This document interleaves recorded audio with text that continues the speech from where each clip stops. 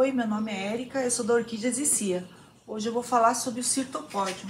Cirtopódium é uma orquídea nativa, nossa, do Cerrado, é, e é uma planta que ela gosta de bastante umidade, é terrestre, né? Mas é terrestre, mas ela não gosta daquele substrato muito pesado, encharcado. Então o substrato tem que ser leve. É, o ideal é você plantar ela então só na casca de pinos, não na terra, tá? E ela é uma planta bem vigorosa, gosta de umidade e como ela está plantada mais nesse tipo de substrato que é casca de, casca de pinos, então você vai ter que regar mais vezes ela, tá? E agora ela tá crescendo, olha só que bonita, né?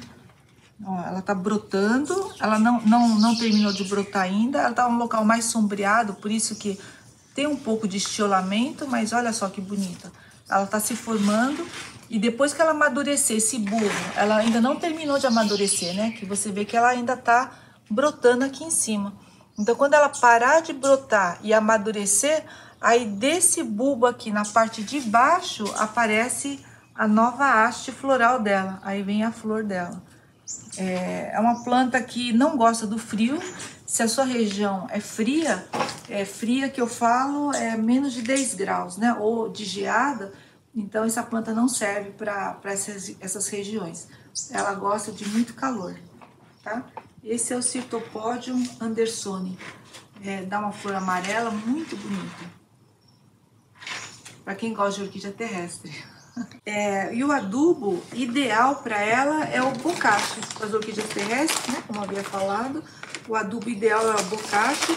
Aí também, você coloca o que entra na ponta dos seus dedos assim, Aí você coloca assim no canto do vaso, tá?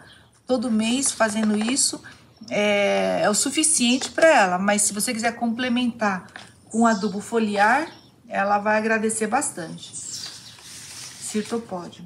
Todas as orquídeas que você vê aqui, você encontra no nosso site. E esses produtos também disponíveis no nosso site. Esse que está na descrição aqui embaixo. www.orquidecia.com.br ou pelo WhatsApp e nosso telefone